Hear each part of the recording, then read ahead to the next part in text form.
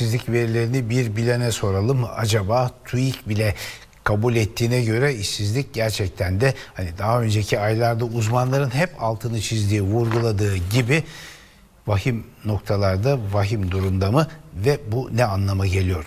Karar Gazetesi ekonomi yazarı aynı zamanda KRT televizyonu ekranlarından çarşamba akşamları Paradoks programından da tanıdığımız değerli hocamız ekonomist İbrahim Kahveci'ye soracağız. İbrahim hocam iyi akşamlar, merhabalar.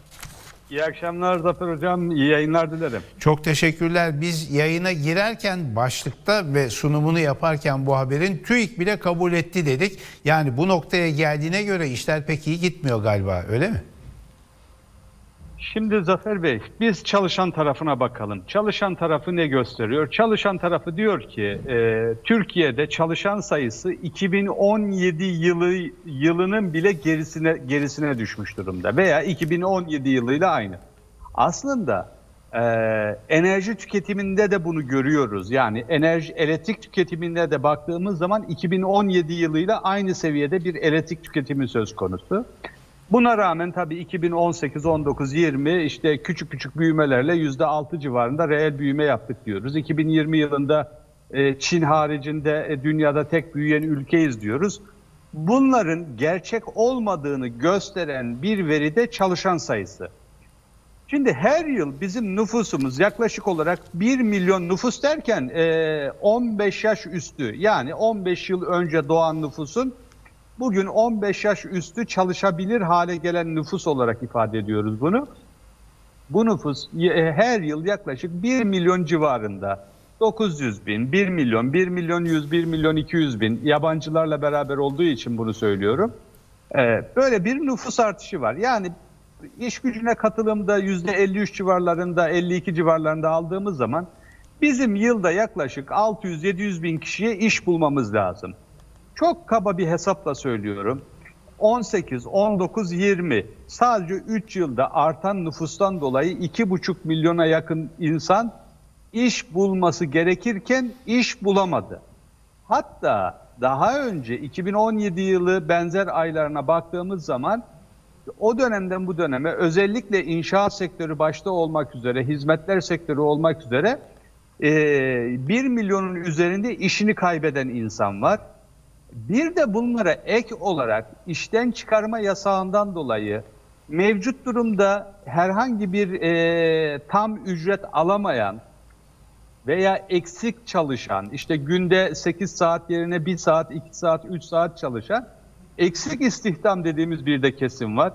Bütün bunları topladığımız zaman e, daha önceki birikimli işsizliğin üzerine de eklediğimizde bugün Türkiye'de yaklaşık olarak 10 milyonun üzerinde işsiz var. Ama burada şunu söyleyelim Zafer Bey.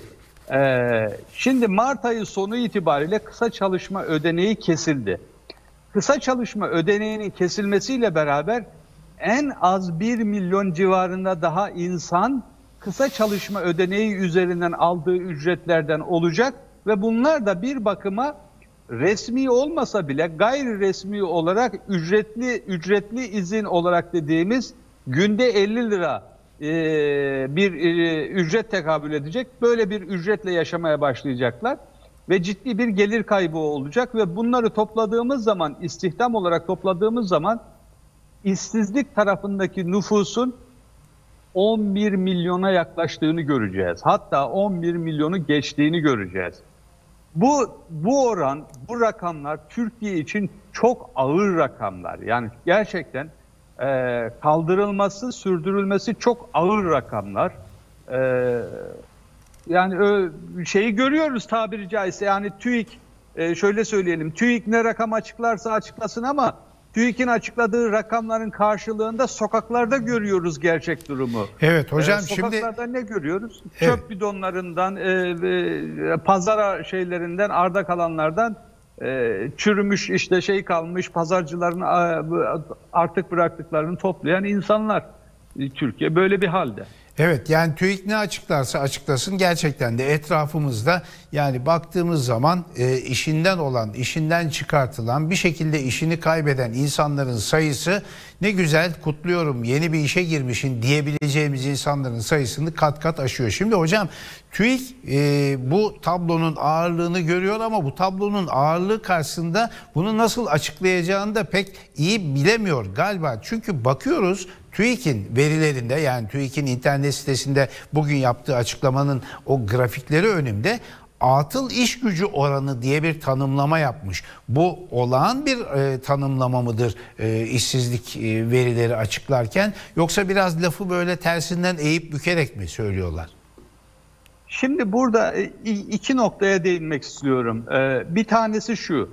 Verilerle oynamak ve verileri farklı noktalarda yani gerçeği ifade etmeyecek bir veri seti açıklamak sadece Türkiye İstatistik Kurumu'na özgü değil. En basitinden söyleyeceğim. 128 milyar doları kim biliyor? 128 milyar dolar döviz satışı Merkez Bankası daha önceleri herhangi bir döviz müdahalesi yapıyorsa yani bir döviz satışı yapıyorsa veya bir döviz alışı yapıyorsa bakın eski dönemlerde Merkez Bankası'nın sitesinde hangi kurdan, hangi gün, hangi kurdan ne satış yapmış veya ne alış yapmış bunu açıklar. Şimdi soralım 128 milyar dolar nerede? Kim biliyor? Nereden satıldı? Kime satıldı? Hangi gün hangi kurdan satıldı? Açıklanmış mı? Açıklanmamış. Buna benzer olarak diğer başka kurumlarda da birçok verilerde bunu görüyoruz. Hocam Yani yasal yasal görevi değil mi Merkez Bankası'nın bunları böyle tane tane kalem kalem açıklamak? Tabii ki şeffaflık olarak e, bir devlet yönetiminde bir ülke eğer bir devletse devlet yönetiminde bunların açıklanması gerekiyor. Yani bir devlet yönetiminde en basitinden başka bir şey daha söyleyelim. Şimdi hazine garantili yollar var değil mi? Hazine garantili köprüler var. Hazine garantili işte havalimanları var, hastaneler var, şunlar var. Müteahhitler işletiyorlar bunları. Ee, vergi bizim vergilerimiz üzerinden yani vatandaşın vergileri üzerinden e, bu müteahhitlere para ödeniyor. Ama bu sözleşmeler ve ödemeler mesela açıklanıyor mu? Açıklanmıyor. Yani burada da bilgiler açıklanmıyor. Türkiye İstatistik Kurumu da e, bu verilerde e, birçok noktada e, çapraz açıklama getiriyor. Şimdi diyeceksiniz ki ikinci noktaya geleceğim. Bu e, geniş tanımlı işsizlik dediğimiz, atıl işsizlik dediğimiz o yüzde 28'lik oran. Şimdi biz aynı zamanda dünyada özellikle Avrupa'da, Avrupa Birliği çerçevesinde istatistik verisi, veriler açıklamada bir birliğe üyeyiz. Yani yabancı ülkeler, yabancı yatırımcılar veya dış dünya Türkiye ile ilgili kararlar alırken Türkiye İstatistik Kurumu başta olmak üzere resmi veri açıklayan kurumların verilerini baz kabul eder, doğru kabul ederek alırlar. Şimdi bunlar yavaş yavaş sorgulanmaya başlanıyor. Bunlar sorgulanır ve Türkiye İstatistik Kurumu geçmişte Arjantin'in başına geldi, Şili'nin başına geldi. Hatta yakın dönemde Yunanistan'ın başına geldi. Hatırlayın Yunanistan borçlarını saklamış, tarım desteği almak için işte e, plastikten zeytin ağaçları yapmış falan böyle şeyler vardı. Sahte veriler. Ne oldu bu ülkeler? Bu verileri güvenilirliği kaybolunca o ve- veri setinden çıkarıldıkları zaman hiçbir yatırımcı gelmiyor. Şimdi Türkiye İstatistik Kurumu tam bu arada yani e, bir Ankara'nın e, Ankara'nın nasıl ifade edelim? Ankara'nın beklentileri doğrultusunda da bir veri açıklama seti. Bunu mu açıklayacak? Yoksa dünyada veri e, açıklama Eurostat olmak üzere bu tür kurumlardaki üyeliklerimiz düşüp Türkiye'nin verileri tamamen kabul edilemez noktaya mı gelecek? Şimdi istatistik kurumunun zor görevi bu ikisini birden idare etmek. İkisine birden hitap edebilmek. Onun için bir tarafta son 4 yıldır iş çalışan sayısı artmıyor. Artmamasına rağmen işte e, ne söylüyoruz? Çalışan sayısı düşmüş. işsiz sayısı düşmüş. işsizlik oranı da düşmüş. E, şimdi böyle mucizeler e, gerçekten e, Türkiye'ye özgü gözüküyor. Yani Evet, e, birileri de şey- bir yerde bunların herhalde sağlamasını yapıyorlar diyorsunuz. Yani o güvenilirliğin kaybolması da bundan kaynaklanıyor herhalde. Eğer o güvenilirlik kaybolursa Zafer Bey, Türkiye'ye hiçbir yatırım gelmeyeceği gibi Türkiye çok ciddi zorlanır. Yatırım derken bunu şöyle düşünmeyelim. Yani zaten şu anda yabancılar gelip Türkiye'den şirket almıyor, şey yapmıyorlar ama biz özel şirketler olsun veya Ankara merkezi hükümet olsun dış borçlanmaya çıkıyoruz ya uluslararası piyasaya. Evet. O kapıda kapanır bizde. Yani bütün yurt dışı finansal kapılar tamamen kapanabilir. Onun için istatistik kurumu da bu iki arada bu dengeyi yürütmeye çalışıyor. Bir tarafta işte işsizlik verilerinde veya diğer verilerde bir sürü sorgu işareti var. Ama diğer tarafta da geniş tanımlı işsizliği kısmen açıklamış oldu. Evet şimdi hocam tekrar şu 128 milyar dolar meselesine gelelim. Ufak bir sayıdan söz etmiyoruz. Az bir paradan söz etmiyoruz. Tam 128 milyar dolar. Yani çarpsanız bölseniz nüfus başına bölseniz yine adam başı bayağı önemli miktarda bir e, dolar rezervinden söz ediyoruz. Şimdi e, az önce de siz de dediniz ya ben bunun hesabını vermek istemiyorum. Kimseye açıklamak zorunda değilim. E, benim sırrım filan deyip işin içinden çıkabilir mi herhangi bir ülke yönetimi? Şimdi Türkiye'de tabii yönetim sistemi değiştiği için bunların e, sorgulanması zor oluyor. Yani normal bir yönetim sisteminde böyle bir döviz müdahalesi, böyle yüklü bir döviz satışı olacak. E, Bunun ardından bunun açıklanması yani o müdahaleler esnasında dahi bunun açıklanması gerekir. E, Bugün eğer bu açıklanmadıysa yarın açıklanmayacak anlamına gelmiyor. Yani e, mecburen Türkiye'de yeni yönetim geldiği zaman bunlar sorgulanacak. Yani bugün sorgu olmaz, yarın olmaz, ertesi gün olur. Bunlar elbette sorgulanacak. Yani 128 milyar dolarlık bir işlem böyle şey bir işlem değil, ufak bir işlem değil sizin de söylediğiniz gibi çok yüklü bir işlem. Elbette bu para buhar olmadı. Yani biz 2020 yılında yaklaşık 40 milyar dolara yakın bir cari açıkla bir rezerv kaybı yaşadık. Ee, dış borç ödemesi oldu kısmen, küçük bir dış borç ödemesi oldu ama e, en önemlisi piyasaya satışı oldu. Yani 60 milyar doların üzerinde bir piyasaya da satışı oldu. Her ne olursa olsun yani buradaki mesele e, bu, bu e, işlemlerin kamuya açıklanması. Yani ben yaptım oldu diye bir ülke yönetilmez, yönetilemez. Ülke en azından bunun hesabını bakacaktır. Bunun hesabını soracaktır. Bu bir yerlerde kayıtlıdır. Ya aşağı yukarı ekonomistler bunları tahmin ediyor ama bizim tahminimiz önemli değil. Önemli olan bunların açığa çıkması ve bu emirlerin bu iradenin yani kimin yönetiminde bu satış yapıldı ve kim buna karar verdi? Bunların da açığa çıkacağı kesindir. Peki Elbette- hocam herhalde bunun önemi şuradan kaynaklanıyor gibi ben tahmin ediyorum. Yanlışsam doğrulayın beni. Ee, ya, yanlışsam düzeltin beni. Çünkü şu kadar parayı nereye harcadınız diye sorulmuyor. Yani hükümet der ki ben şurayı öncelikli gördüm buraya harcadım. Rezerv denilen bir paradan söz ediyoruz. Bu rezerv ne anlama gelir? Niye e, normal bir harcamadan daha önemlidir? Onu bize izah edebilir misiniz? Şimdi rez- rezerv şudur. Ee, Merkez Bankası'nda işte bankalar mevduatlarının belirli bir karşılığını Merkez Bankası'na bırakıyorlar. İhracatçı mal sattığı, yurt dışına sattığı ürünün belirli bir kısmının döviz karşılığını Merkez Bankası'na bırakıyor. Ee, velhasıl velhasıl merkez bankaları bir döviz biriktiriyor ve döviz tutuyor. O döviz ülkelerin dış borç ödemeleri olsun, diğer dövizli işlemleri olsun bir güvence hani bir şirket düşünün 3 milyarlık 5 milyarlık şirket kasada 100 milyon 50 milyon e, böyle bir rezerv tutar yani bir nakit tutar. Şimdi bu da Türkiye'nin bir rezervi kasa, kasa varlığıydı. Acil ihtiyaçlar olsun, ani müdahaleler olsun bu rezervler kullanılır burada. Buradaki olay şu.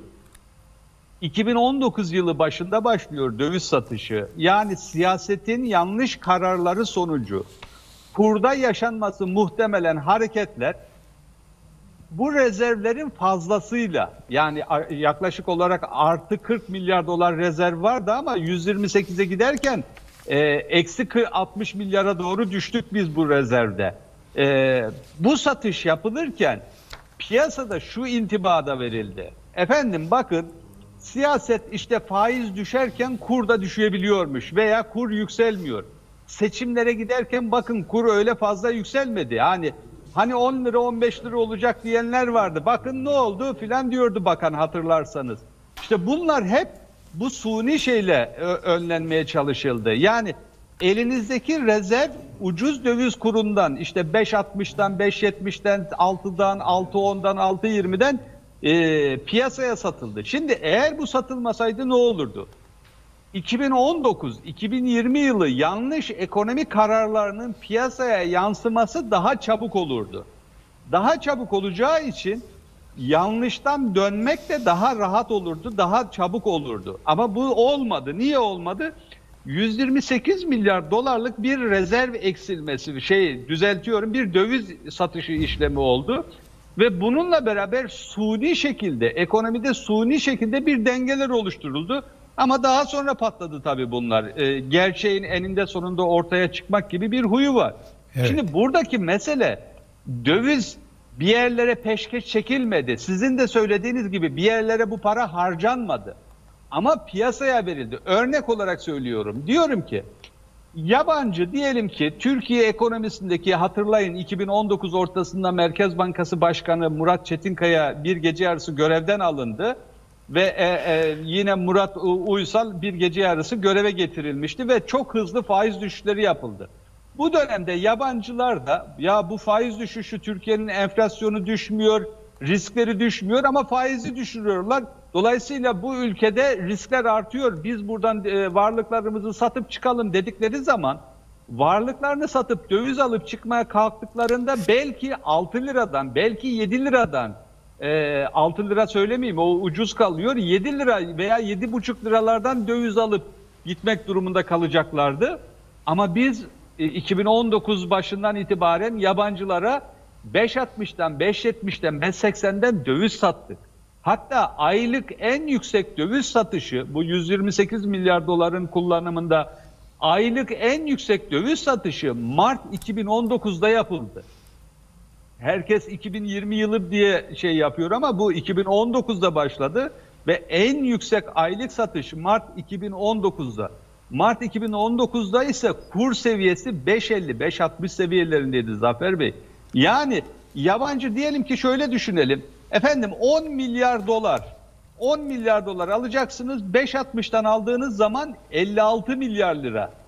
Ama e, 5.60 yerine 7 liradan bunu yer almaya kalktığınız zaman 56 milyar TL değil 70 milyar TL ödemek durumundaydı yabancı. Yani yabancıya e, yapılan bu e, kur satışı yabancının Türkiye üzerinden belki de zararla çıkacakken büyük bir karla çıkmasına Evet, sebep kim, oldu. bundan kim sebeplendi sorusunun cevabını aslında bilmek istiyoruz özetle değil mi hocam?